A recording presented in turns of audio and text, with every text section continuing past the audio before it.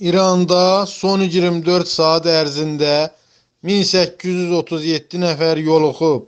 Beləliklə, ümumi yoluxanların sayı 70029 nəfər olub. Bu barədə İran Səhiyyə Nazirliyinin sözçüsü Kianush Cahanpur xəbər verib.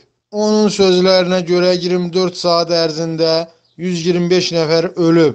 Beləliklə həyatını itirənlərin sayı 4357 nəfərə yüksəlib. Bundan əlavə 41947 nəfər sağalıb.